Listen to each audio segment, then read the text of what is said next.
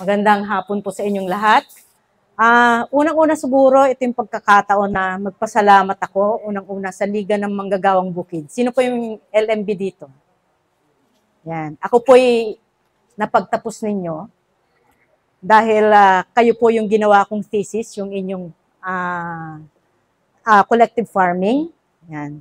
At tuwang-tuwa po yung aking mga naging profesor dahil ito raw ay ah, isang ah, isang halimbawa ng tunay na ah, pagpapaunlad ng komunidad.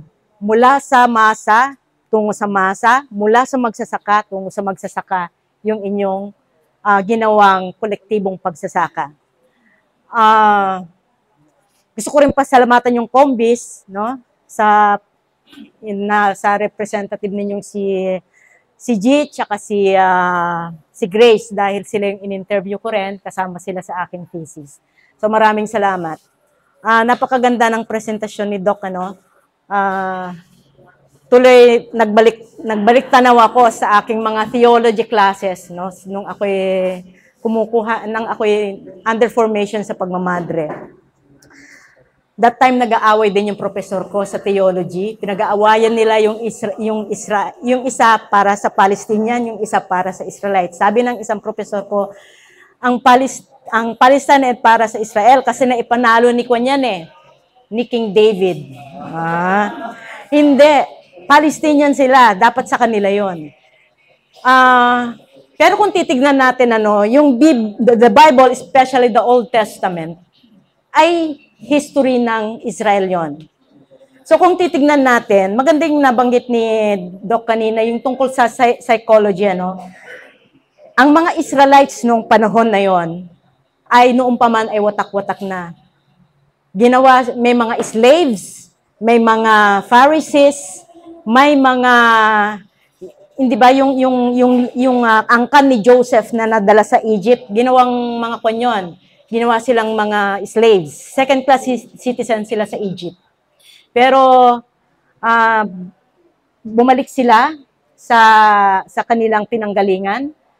Uh, ito yung tinatawag na the fertile crescent dahil yun yung pinaka ma the, the, the uh, a land na uh, flowing with milk and honey. Yon, yun yon. Gustong gusto ng mga Israelites si David si King David dahil pinan nung although very ko naman very exagger exage naman yung yung isling lang yung naipanalo niya no? Exage naman yun no? Siguro nga no? Hindi naman siya maliit sigurong bata siguro binatilyo no? Kasi that time ang labanan ay gentleman's war. Papipili ka ng iyong kwan ng iyong kalaban uh, pipili ka ng iyong representative ito yung kalaban namin. O naglakas ng loob si David nanalo sila. So, yung Jerusalem, pinagharian nila ng kung ilang taon, no? ilang daang taon. At ang isa sa mga napanalo nila, yun nga, yung Judea at Samaria, nandun ang mga Israelites noon, na ngayon ay West Bank. Okay? So, nandun lahat yung kwan.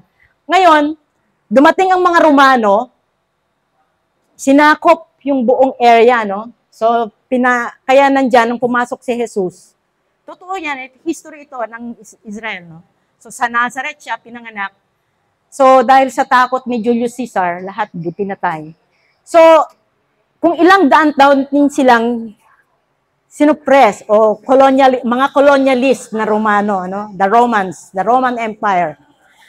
Hanggang may mga nabuong sinasabi nga ni Sir kanina ng mga Liberation Front, ito yung mga zealots na tinatawag. These are the zealots na lumalaban sa mga gobyernong Romano, sa imperyo ng Romano. And dumating yung point na nagkaroon na ng, kung na yun, the later, basahin niyo yung Old Testament niyo the later part. Lumaban ang mga zilot sa mga Romans dahil gusto nilang maging malaya sila. Like the, the time of David, no? So, the, yung sinasabi ni Sir na Zion and Zilot, it's different, no? So, zealots are the, kung baga sa atin, NPA. No? Oh, yung mga liberation armies, MNLF, MILF, yung ganon. So, lumaban sila hanggang nahiwalay sila sa main population ng Israel. No? Hanggang ang last fortress na lang nila ay yung Masada. Masada is a top, isang plateau yun, na nandu- doon sila, ah, parang, ah, parang ah, training ground nila, no, ng mga zealots. So pumunta sila doon, yung kasama yung mga families nila, pupunta lahat sila doon. Dahil napakalaki ng puwersa ng Romano, lahat ng mga daluyan ng tubig, lahat ng dalu ng daan ng pagkain ay talagang na-block nila hanggang nagpakamatay ang mga zealots. These are 960 people na nagpakamatay. Talagang mass suicide, no? Ayaw nilang sumuko sa mga Romano, sa mga imperyo ng Romano.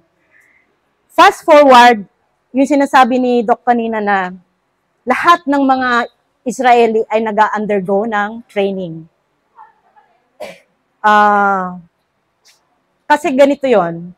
Ah, lahat yun talagang nire-require sila. And every time nag-graduate sila, ang sinasabi ng mga ng mga nagte-train sila, remember Masada. Yon. So yun isa yon sa mga force, yun yun isang kaisipan na laging nasa mindset at nasa puso ng mga lahat ng mga kabataan na nag-undergo ng ah, military training. So remember Masada. So ang kanilang kuan ay mga zealots, no. Pero FYI, si Judas ay isang zealot, ha. okay. Ah Kalahi si Judas. Ah, pero si, si Judas kasi personal na kanya yun eh. Personal niya yun. Na, na, nasilaw sa pera, no? So ngayon, um, sa, sa makabagong panahon, kasama ito sa aking kuan ha, sa aking thesis kasi pinag-aralan ko yung buhay ng mga kibbutz, na. Yung kibbutz kasi ito yung ah, ni-raid ng, ng mga Hamas. So in early 1900s, ah, 1902 yata yon, may mga Israelites na pumunta doon sa Palestine para mag-establish ng community. So wala pa yung United Nation na yan. So ang kwan nila, nagtayo sila ng isang collective farming. Pero mga to hindi marunong. Kaya sa kanila nag-umpisa yung kwan eh, greening the desert. So nag-umpisa sila, no? Gaya ng mga liga ng manggagawang bukid. Nag nag-umpisa sila sa maliit hanggang na lumago ng lumago yung kanilang collective farming hanggang yung nagkaroon sila ng sariling school, sariling mga daycare center, sariling factory, lahat, kumbaga, lahat ay self-sufficient sila, no? Self-sufficient sila. Kaya ah ito yung ito yung tinitignan ko na marahil sa psikolohiya ng mga Israelites, this is tinatawag nating collective memory yung karanasan nila mula pa noong panahon ng bi- na bib- biblico-historical yan, bib, ng panahon ng Biblia na yan, ng Old Testament, hanggang, hanggang ngayon yan, na nasa, nasa back of their mind, nasa psyche nila, na hindi mai-proseso pa siguro. Pero, yun ang sinasabi ko sa aking mga estudyante, ano. Actually, nag-away-away ng mga estudyante ko tungkol dyan. Kaya inawat ko sila, tama na, sabi ko. Okay, ang ang ang aking ang ang aking kon doon ah kung titingnan natin mula doon sa biblical times no sino ang laging nagkakanulo sa kanila ng mga kwan hindi ba hindi naman yung ordinaryong Israelites eh mga Pharisees yung mga Pariseo di ba mga tax collectors yung mga leader ng community sila ang nagkakanulo so lahat yan kung titingnan natin ang mga in ordinaryong Israelite, they are peace-loving. Like like the, those in the in the kwan, sa mga kibbutz. Actually, the first community na na, na itayo noon ay sa Degania na tinatawag. Pa, palagay ko yun yung part na ni, ni-raid ng Hamas. Yun. Kasi nandun na lahat, yun, yun ang kwan ng kibbutz eh. Yun yung community ng kibbutz. kibbutz. Ang kibbutz, ang kanilang ideolohiya ay utopian. When you say utopian, pantay-pantay tayo. Peace, lahat pinag-uusapan. Ang sweldo mo, pinag-uusapan. Kung anong kailangan mo, ibibigay. So, self-sufficient ito at the same time, nakakapagbigay sila ng trabaho outside sa kanilang komunidad. So, these are loving, peace, ah, peace-loving people. Ano, gusto nila ng kapayapaan, gusto nila ng magkaroon ng sariling pagkain, sariling ah, lupa, sariling ah, sariling mga trabaho at nagawa nila. Kaya sa akin, nung, nung, nung nakita ko yon may kurot sa puso ko eh. Kasi ito yung mga taong ordinary people, pero sila yung pinag-initan. Kung titignan natin, it's not, it's not just the US, kundi yung pride ng isang leader, si Netanyahu, na pa, pabagsak na, no? Pabagsak na siya actually. Ayaw siya ng mga Israelites, ng mga Jew, Jewish people. Ayaw, ayaw siya. So pride, pride yon ng isang leader na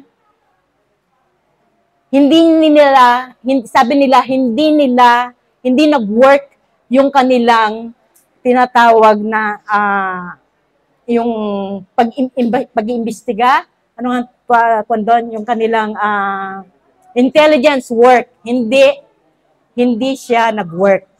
So talagang sampal sa kanila na sinasabi nga natin na they are the best ah, intelligence, they have the best intelligence network na tinatawag. So, sa akin, ah, mas naaawa ako, naaawa ako sa mga Jewish people. Why? Nadadrag yung mga ordinaryong tao sa sa pride at away ng mga leader ng mga bansa. Okay? Ah, kasi may mga Jewish din sa kwan eh, sa Palestine. No? At meron ding Palestinian sa sa Israel, no. So sa akin ang ah, ang kon ko doon, sabi ko nga biniri ko biniro ko yung mga estudyante ko. Ano kaya kung bayaan na lang natin sila mag-away-away, matira matibay. So tahimik lahat sila. Tahimik sila, hindi ba? So sometimes we we analyze so much, you know, uh, let them let them kwan sabi ko hayaan natin silang resolbahin yung kanilang mga problema kasi nung wala yung mga leader diyan walang problema eh nung wala yung UN walang problema nabubuhay yung mga yung mga kibbutz doon sa Palestine Palestine no? So yung ganon. Pero syempre pumasok na ang US pumasok na yung ibang mga countries. So dapat siguro kailangan na nat, ah, kailangan sigurong magkaroon din ng maayos na pag-uusap. Siguro ang kunin doon yung ah, yung Israel, spare yung mga i-spare yung mga tao, no? At yung Hamas siguro, ah, it's time for the Arab countries na wag nang wag nang bigyan ng ah, ah, support ang ang Hamas. Like the Qatar government, they are giving I, I think 10 million o 10 billion per year. Even the Saudi, lahat yan, Jordan, nagbibigay sila sa Hamas. Bakit sila nagbibigay? Hindi sa gera daw, supposedly. It should be for the Palestinian people. Pero hindi ito nakakarating sa mga Palestinian people. Mga Hamas lang yung pan. It's more on the member of the Hamas ang nakikinabang. So, yun siguro, yun, yun yung mga yun yung mga realities na titignan. Na kung, kung, tu, kung titignan din natin sa ating country, sa ating bansa, no? May mga dumadating na mga dapat ay sa tao, pero hindi nakakarating sa tao. Ganon. So like, sabi ni Bungko din nun, tayo daw, tayo daw ay pwedeng mamuhay ng isang first, na bilang isang first world country dahil sa laki ng tax na binabayad natin. O, kayo, nagbabayad, di ba? Ng tax? Ako nagbabayad ng tax. Pero hindi nakakarating. Pero nagagamit sa mali. So sa laki ng tax natin, meron pang VAT. Ganon din sa mga sa Palestine, sa Palestine. May pera sila para sa mga tao pero hindi nakakarating. So ewan ko kung saan papunta yung gerang yan. Ewan ko kung saan papunta yung China kwan na yan. Pero laging talo ang mga mamamayan na gusto ay katahimikan at mamuhay ng masagana at tahimik na buhay. Okay, so yun lang siguro yung aking paningin. Maraming salamat, Ms. Jane.